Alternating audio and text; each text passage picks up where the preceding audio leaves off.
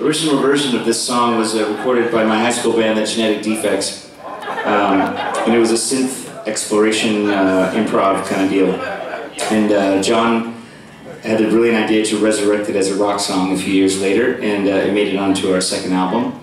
Um, the original version of this song and many, many other treasures from our vaults uh, can be found on the uh, expanded, remastered uh, edition of Dear 23. It's coming right away, very soon. Going to be followed by an expanded, uh, remastered version of Frosting on the Beater, and the same for Amazing Disgrace over the next few months. We have a Pledge Music campaign up right now where you can pre-order all of those things and more. Uh, and we also have some uh, rarities from our closet.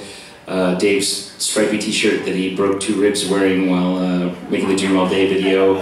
Uh, the coat that John wore uh, for the Frosting of the Beater t-shirt uh, photo shoot has been purchased by someone who's here tonight. That's right. Yeah, right there.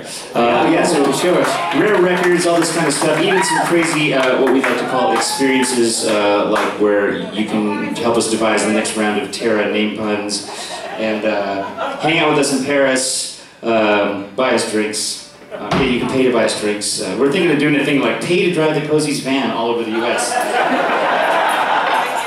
For just a thousand dollars a day, you too can experience life on the road. Anyway, go check out the Pledge Music campaign. Pre-order the records; they're really great. We're really proud to have them available again.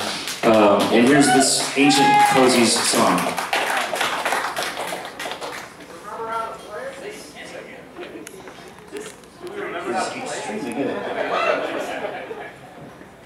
I'll be like bleeding to death Julia Child on Saturday Night Live in two seconds. Save the